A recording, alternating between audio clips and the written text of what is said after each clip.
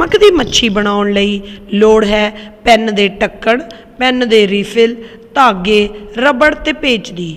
ਢੱਕਣ ਦੇ ਉੱਪਰ ਦੇ ਹਿੱਸੇ ਵਿੱਚ ਗਲੀ ਕੱਢੋ। 2 ਸੈਂਟੀਮੀਟਰ ਲੰਬੀ ਰੀਫਿਲ ਉਸ ਦੇ ਅੰਦਰ ਘੁਮਾਓ। ਢੱਕਣ ਵਿੱਚ ਰਬੜ ਘੁਮਾਓ ਅਤੇ ਪੇਚ ਨਾਲ ਟਾਈਟ ਕਰ ਦਿਓ।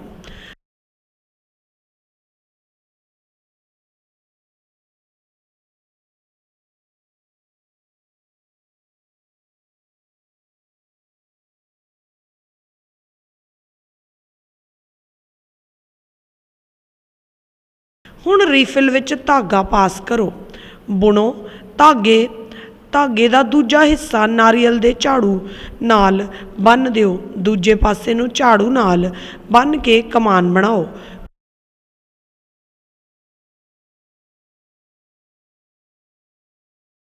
ਕਮਾਨ ਧਾਗੇ ਨੂੰ ਖਿੱਚ ਕੇ ਰੱਖੇਗਾ। ਢੱਕਣ ਨੂੰ ਛੱਡਣ ਤੇ ਉਹ ਬੜੇ ਵਧੀਆ ਢੰਗ ਨਾਲ ਗਿਰੇਗਾ। ਉਹ ਛੋਟੇ ਛੋਟੇ ਝਟਕੇ ਲੈ ਕੇ ਡਿੱਗੇਗਾ।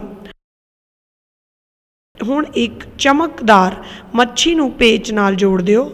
ਉਹ ਝਟਕੇ ਲੈ ਕੇ ਨੀਚੇ ਆਵੇਗੀ ਤੇ ਬਹੁਤ ਖੂਬਸੂਰਤ ਲੱਗੇਗੀ।